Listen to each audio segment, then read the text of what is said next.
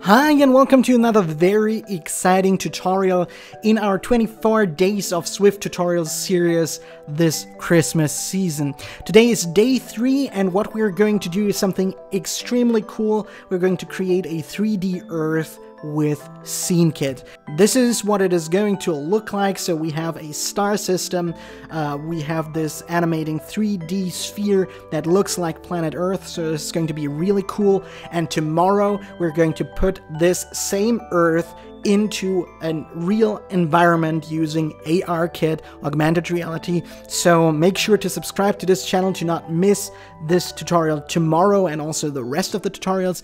And just a quick reminder um, that I have created this Slack workspace for our community, which already had a great start in the last two days since it exists. So uh, check out the join link in the video description below to join this Slack community where you can ask your questions about uh, programming, about Swift and iOS development and help each other out from time to time. I will also have the chance to help you out there. Um, so definitely check this out in the video description below. And now let's get right started. Now let's just have a quick look at the real thing here in the simulator. And what we have here is a rotating Earth and if I click it, then I can stop the rotation and also rotate the whole scene, moving my camera. I can also pinch out and pinch in.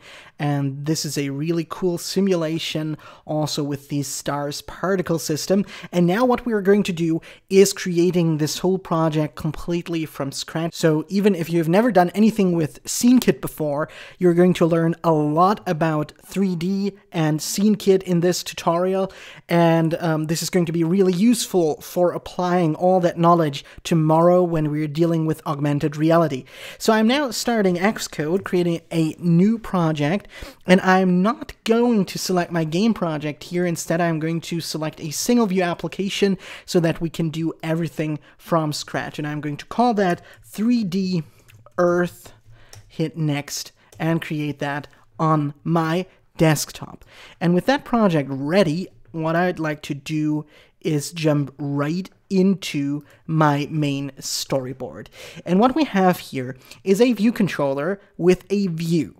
But since we're using SceneKit now, we cannot really work with this view. What we should do instead is working with a SceneKit view. So I'm going to remove this complete view here and only have a empty view controller here right now. So in my object library down in the bottom right corner, I'm going to type SceneKit, S-C-E NE kit, and there you will find a SceneKit view, and surprisingly, you're also getting an ARKit SceneKit view, which we're going to deal with tomorrow. But for now, we're going to have a look at the SceneKit view, which I'm going to place into my view controller. And this is going to be my SceneKit view, and we're going to work with that in a second. So this is the first step. Now we have a SceneKit view that we can use and work with.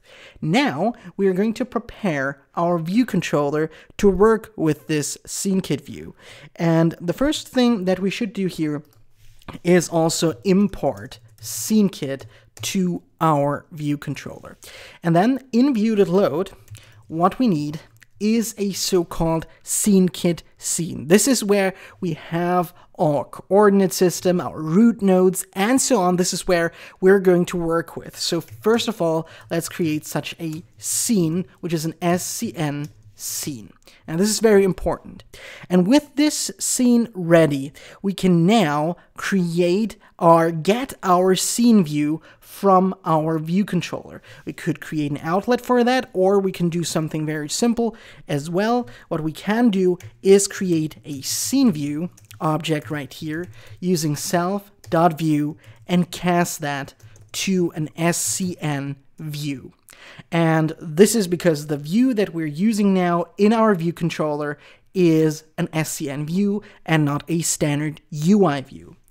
And the important thing now is that our scene view actually holds a scene kit scene. We already created that scene, we didn't do anything with it, but we have it. So what we can do is use our scene view and assign a scene right here. And the scene that we are uh, that we want to assign is just scene.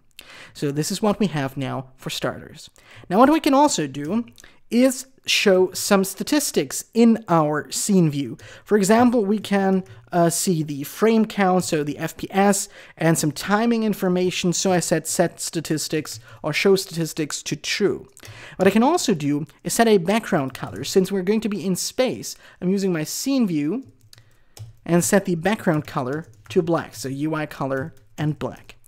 And what I also like to do is having the ability to manipulate the camera. We're going to have to do that in the future, so why not do it now? So using the scene view, access the allows camera control, and set this to true as well.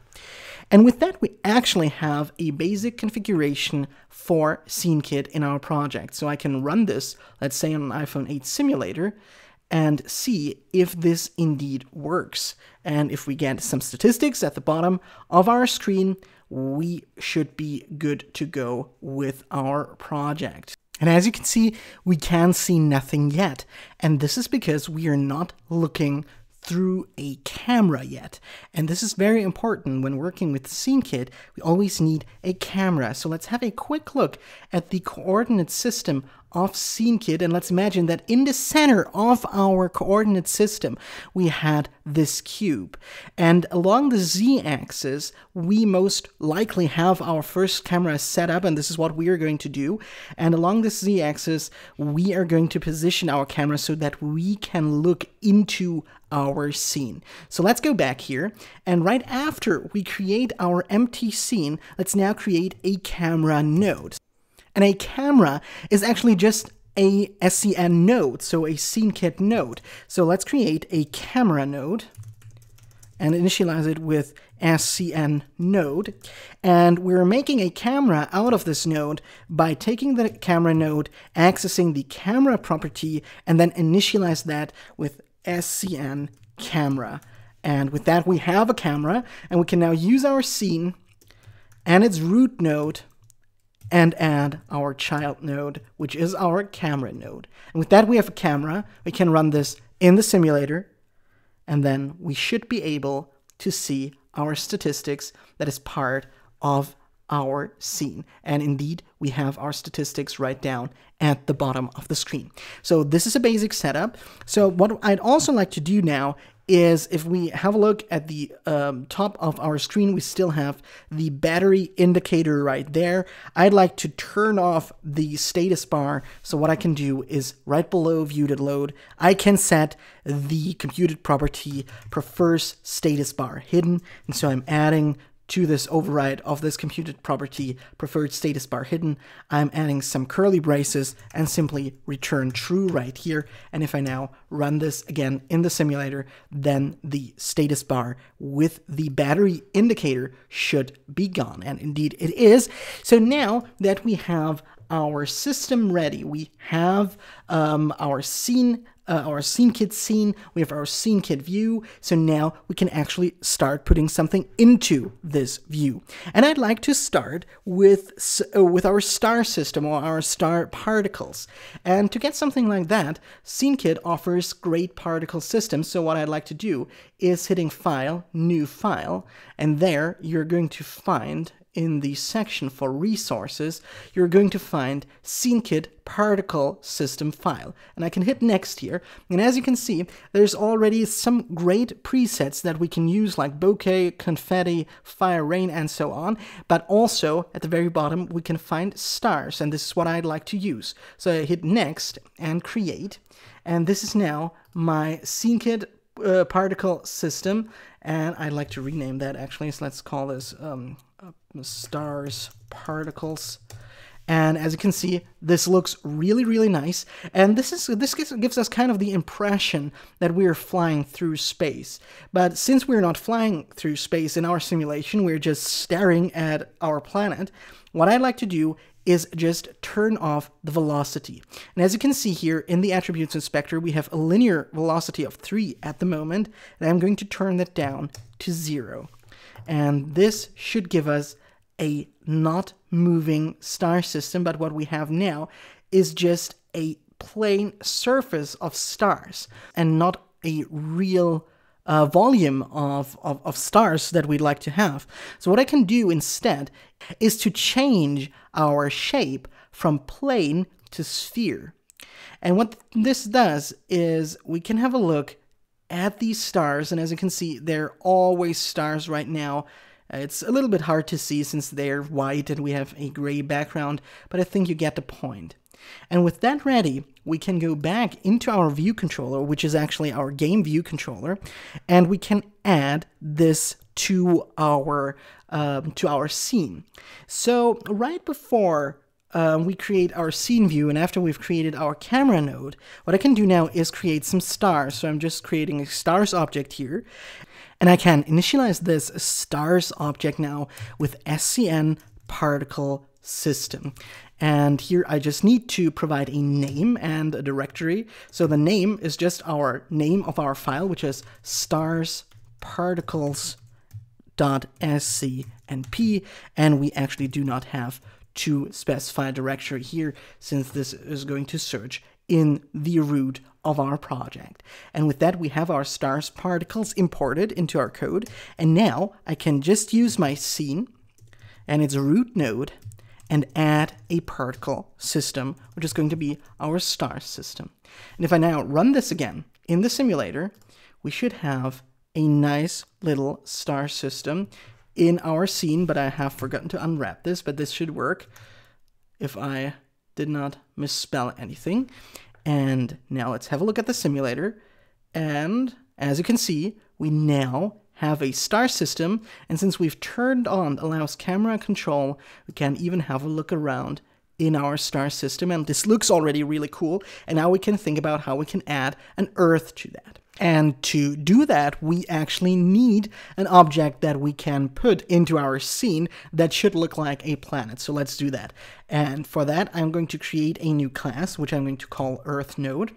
So let's click on View Controller on our viewcontroller.swift file, create a new um, file by pressing Command N on the keyboard, and then I'm selecting a Cocoa Touch class, hit Next, and this is going to be the Earth Node class. And this should be a subclass of SCN node, so a SceneKit node. Let's hit Next and create that.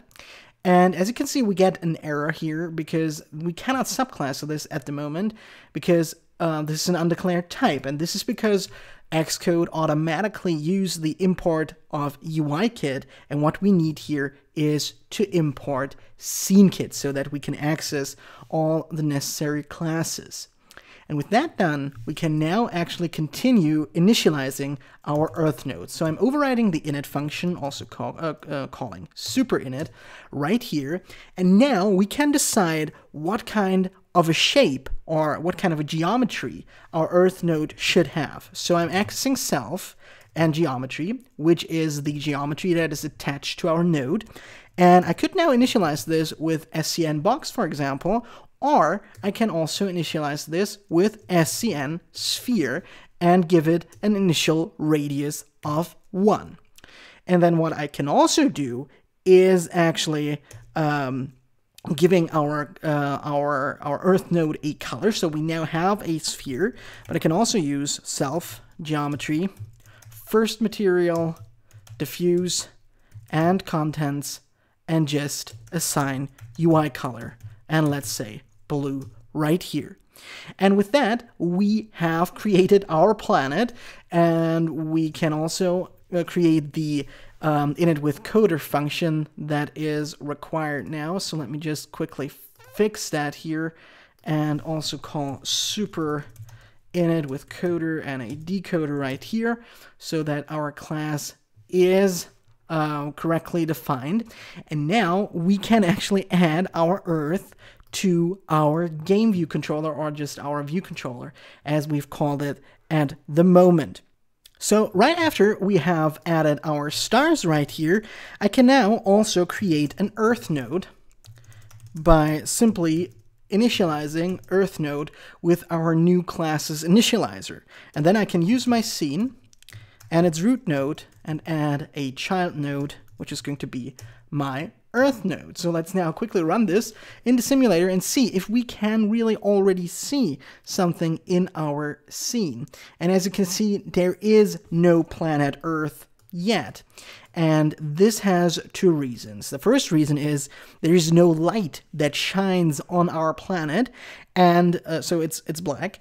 And also there is our camera might not be positioned correctly because our Earth at the moment is directly inner center of our uh, of our scene, and so also is the camera. So we are not really able to see our sphere yet. So let's change that. First of all, let's adjust the camera position. And therefore, I'm just uh, going right above. We add our camera using our camera node and its position and then changing its position. And since we're in 3D space, we need a vector for that, an SCN vector 3, so that we get three coordinates, which is the X position. Let's set this to, uh, to 0.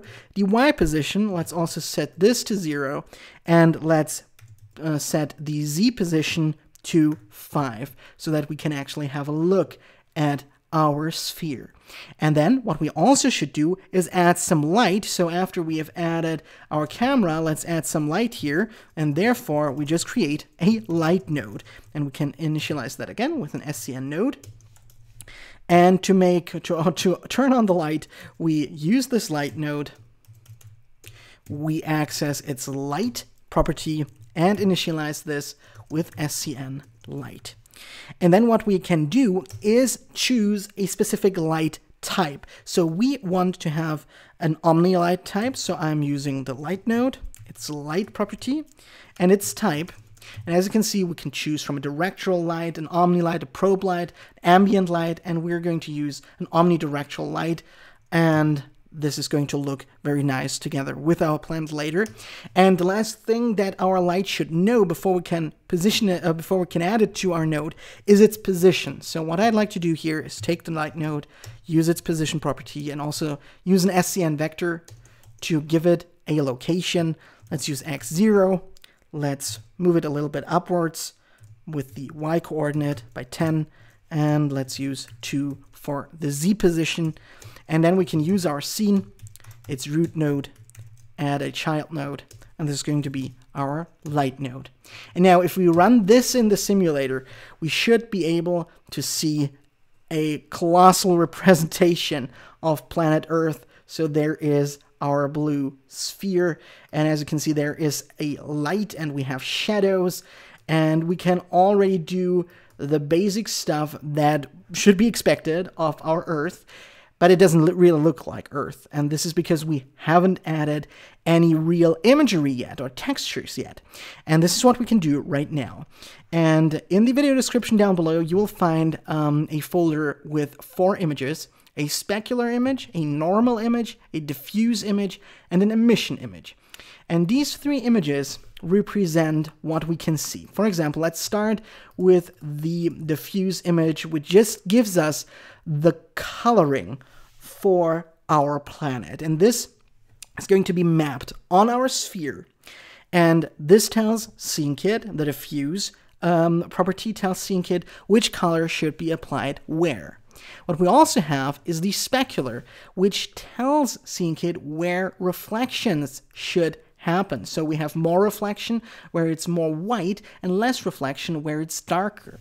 And then we have the normal image, which tells us about the topographical, the topographical information of our planet. And this is really cool. And you get all can get all of these images from NASA, for example. I have a really low resolution at the moment because I could find these images more easily in the Apple documentation. But um, you can of course use high-res images that you get from NASA here. And the last image that we have is the emission image, which is also really cool cool because this tells us where actually our planet has light or where it emits light. So um, this is cool if it's darker or we reach the dark side of our planet where no light is pointed at from the sun, we can actually still see where electrical light um, gives us light or emits where our planet actually emits light and where it does not. So what we can do here is opening up our assets folder in Xcode, take all of these images and drop them right into our assets folder. Then we can open up our Earth node and just make some adjustments right here. So instead of using the diffuse content or for the diffuse content, I just use a blue color. I'm now using a UI image, which is actually named uh, diffuse. Diffuse. And I can just copy this line of code a few times um, and change the property right here. So let's first of all start. We have the diffuse ready. Now let's use the specular. Where is the problem here? Oh, I forgot the quotation mark here. So just quickly add that.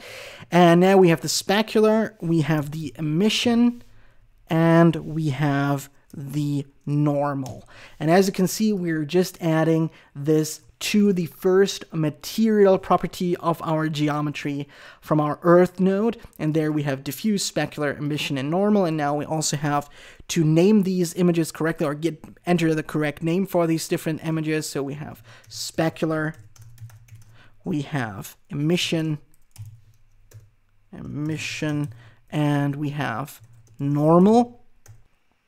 And now let's run this in the simulator and see how this actually looks and what we can do to uh, even improve the look of our planet in a second. So here we go. This is our planet. Already looks really cool. Um, we have um, we have the top uh, topography. We have some shininess, as you can see when we uh, look at the water. There we have this little reflection. We do not have this reflection um, on solid rock. We only have that on water. And what we can do, for example, is change the shininess of this reflection. So I can go into my earth node again and change self geometry, first material, and shininess, and set this to 50, for example. And this is going to give us a completely different look here. So as you can see now, we get this really tiny reflection now, and this now more looks like a glass surface, for example, but you can of course play around with these settings as you wish. And now the last thing I'd like to do is adding a little rotation animation to my planet so that it spins for itself, um, as it usually does. And therefore, I create a new action here, which is an SCN action and this is going to be a rotate action. And I actually want this to rotate by a specific angle and around a specific vector. So what I can do now here is define this angle which is um, measured in radians. So to turn our planet uh, by 360 degrees we have to convert these 360 degrees by taking pi divided by 180 and then we should actually convert that to a CG float, CG float, and we should be good to go. And now we have to specify around which axis we actually want to rotate our planet. And we want to rotate it uh, uh, around the y-axis, so I'm defining a vector here with x0, y1, and z0. And with that we have um, specify the value for which um, axis we want to rotate our planet around. And now we can maybe say a duration or a specified duration of 8 seconds for this animation. And this should infinitely repeat itself. So let's create a repeat action here with SCN action repeat forever.